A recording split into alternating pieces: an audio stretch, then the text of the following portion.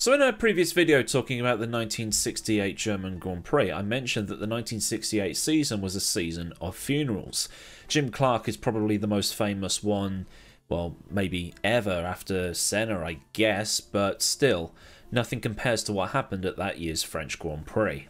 Formula One was in a transitional phase. Wings started appearing on the cars. They were running unrestricted sponsorship, the colours of corporate entities were replacing the national colours of what came before, and suddenly the Green Lotuses were red and gold. Other teams would sell their souls to the corporate devils, and drivers were now making way more money than they ever had. But because Formula One had entered this aerodynamic age, there were still some issues to iron out. The wings that had been put on these cars broke. Aero stalled. But all the teams started working with them because it meant more cornering performance and faster lap times. By the end of the season, everybody was running them. And Lotus had their tall rear wing banned because, well, they just kept on breaking.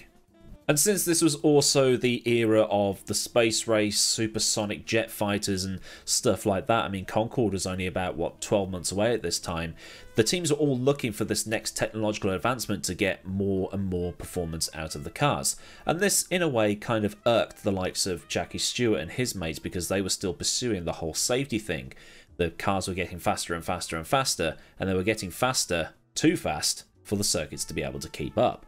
One of those teams was Honda. Now, Honda had been in Formula One for a few years at this point, coming in at the start of the 1964 season. And the car for 1964 had been in development since 1962, and they were the first non European manufacturer to come into Formula One, before the likes of Eagle.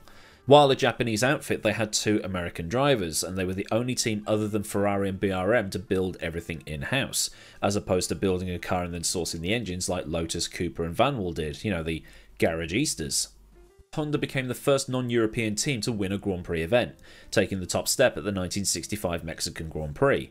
That 1965 car was also quite different to the other cars on the grid, having a water cooled transversely mounted V12 engine that could rev to 14,000 RPM. Now that might sound like nothing, considering we've seen F1 engines go up to 20,000 revs a minute, but in 1960s Formula 1, this was groundbreaking. Nobody could safely get the engine to that level, and that's the big thing here. The engine was safe to 14,000. It probably could have done more. But V12 gonna V12. It was heavy, and the chassis it was mated to was heavy as well.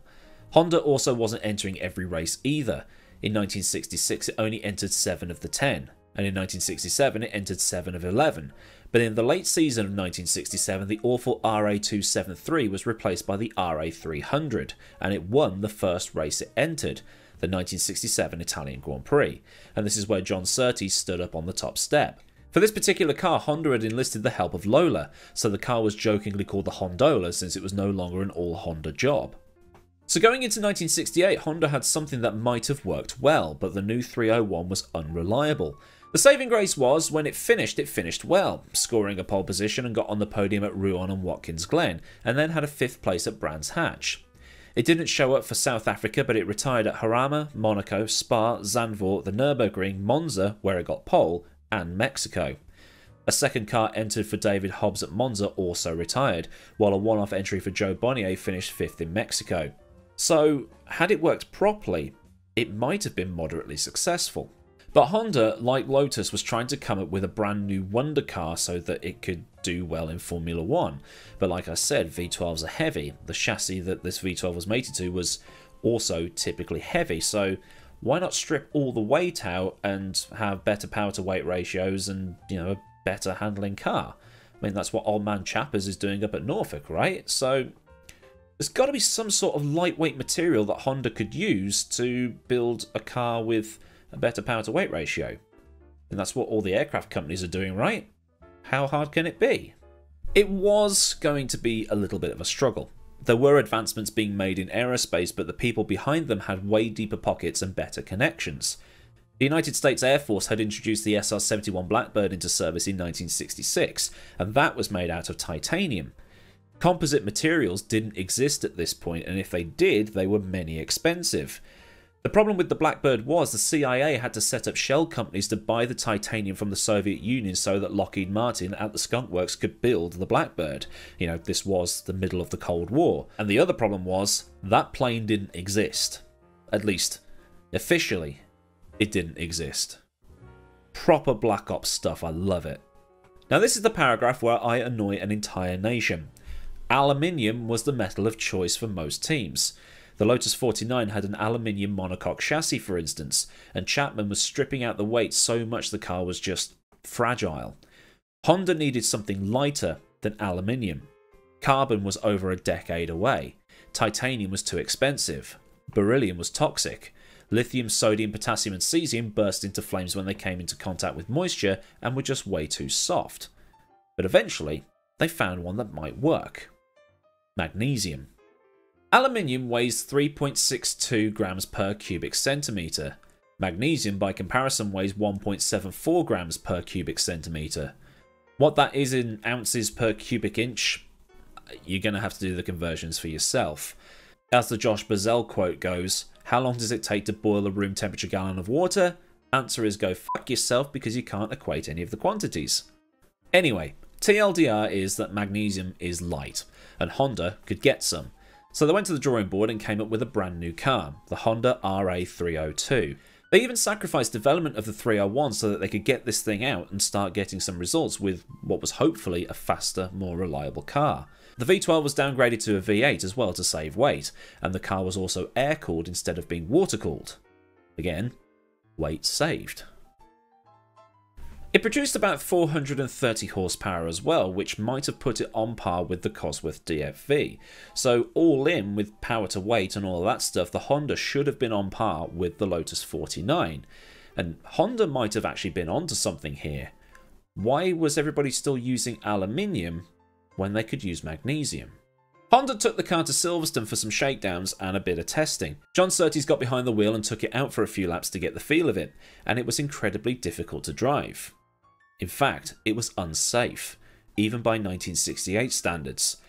Surtees took it back into the pit lane, and Mr. Nakamura, who was one of the Honda bosses, called Japan and said, This thing cannot race. Honda San, on the other hand, was in France on business, and at some point during that business trip, he was either convinced to run the 302 at the French Grand Prix, or he decided himself that the 302 was going to run at the French Grand Prix.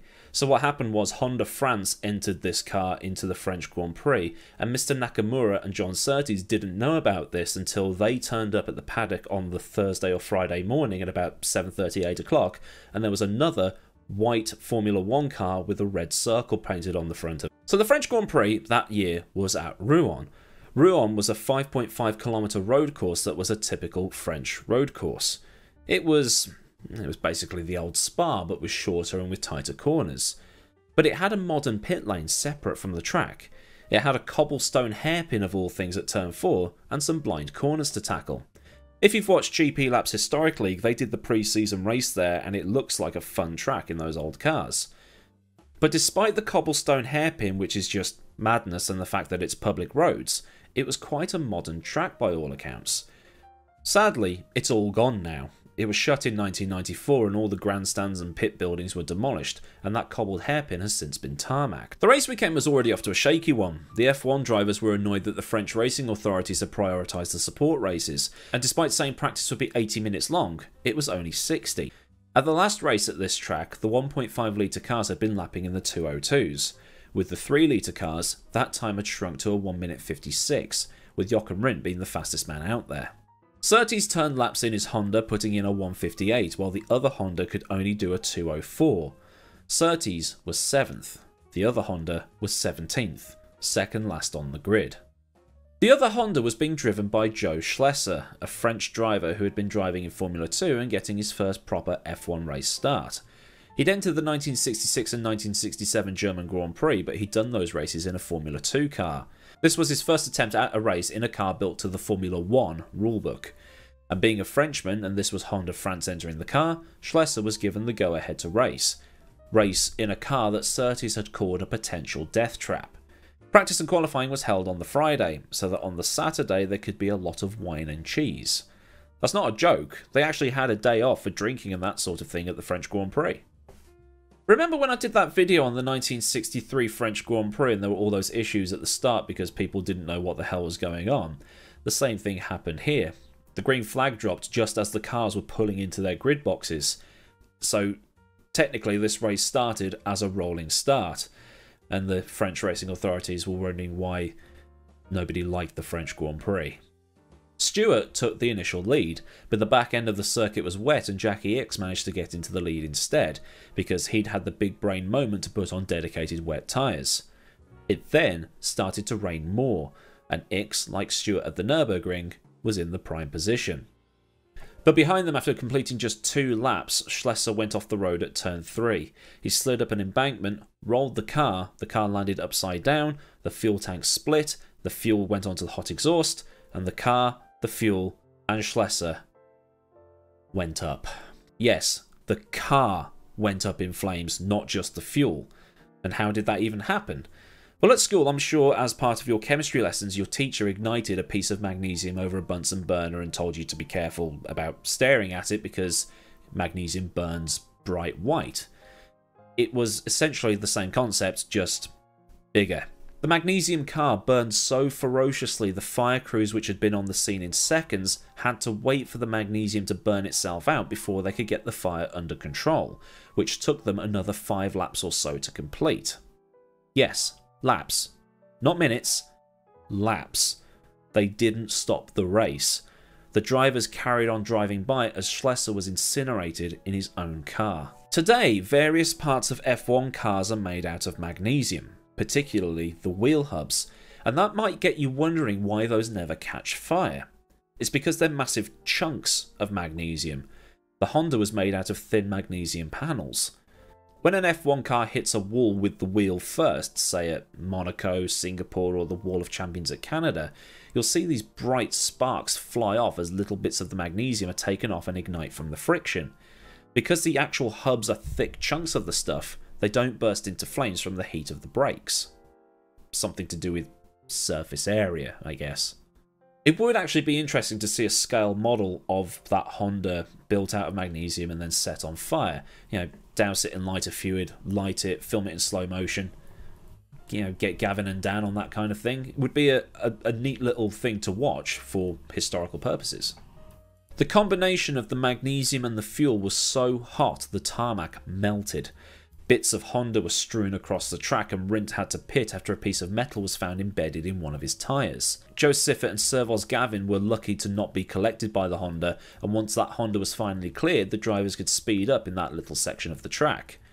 Later on in that race, a piece of the Honda was flicked up and hit Surtees in the face, cracking the lens of one of his goggles in a case of turbo irony. It's thought the Honda caused several punctures that day, causing more issues when another sudden downpour occurred around lap 19 that caused Ickx to slide wide and briefly hand the lead to Rodriguez. Ickx got the lead back and he won ahead of Surtees in the other Honda, while in third it was Stewart a lap down. It wasn't until after the race the drivers learned who was in the car that caught fire at the side of the track at turn 3. Now, Schlesser had a friend in French motorsport. That man was called Guy Ligier, or Guy Ligier, I think is actually pronounced in French. Now, Ligier would get himself involved in building racing cars, and every single chassis he built was christened JS and then a number, such as JS43, which is the car that won the 1996 Monaco Grand Prix. The JS in those Ligier chassis is named for Jo Schlesser. The win, which was his first, put Ickx into second in the driver's standings, while Graham Hill kept the lead despite not finishing that race. Hill would ultimately win the 1968 championship, having rescued the morale of the Lotus team following Jim Clark's death. But this particular race will be forever remembered for the death of a driver in a car that should not have been anywhere near a racetrack. So then, a look at the 1968 French Grand Prix and the story of the Death Trap Magnesium Honda. If you've learned something new here today, then do give the video a like so that the algorithm can do algorithmy things, and you know, obviously subscribe and get that bell on if you're new here and want to see more. Massive thanks to the kind folk over at Patreon for the continued support. And if you want to help out with the buying up of images to be used in these videos, you can do so by heading to the link in the description, where there's also links to Discord and to my socials. So until next time, I've been Aidan Millward. Have a cracking day wherever you live in the world, and I'll see you all again soon for another video. Goodbye.